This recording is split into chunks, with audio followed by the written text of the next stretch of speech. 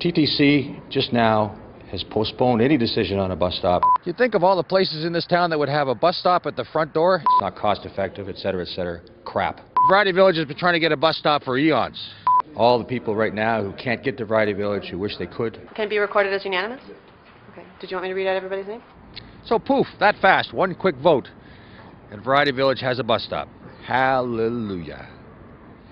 But it's taken 10 years to get this point. And uh, certainly a compelling case was made, and the commission heard from, from the public, heard from yourself, heard from Commissioner Crawford, and, and recognized the need to, to put this bus stop in. You were good enough to come out with me one pretty chilly weekend with your kids. It was an extremely long walk. It was a cold walk. It was a windy walk, and even for me with my two children, it was it was a distance. The TTC staff have fought them every step of the way, arguing that, ah, what the hell, there's lots of bus stops in the area. Why do the disabled kids need their own?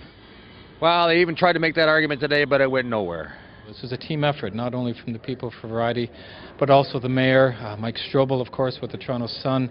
I think it was this team effort of people just putting forward the importance of a bus stop that made it happen. And it's about time.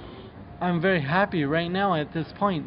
They already made a statement that they're going to make a TTC bus stop in front of Variety Village. So I'm very good for that. And I don't, I'm with you. I don't know, understand why it took them so long either, Henry. It's just, so a great day for Variety Village. They got their own bus stop, but I figure, why stop there? I always thought they deserved their own airport. Mike Strobel for Sun Media.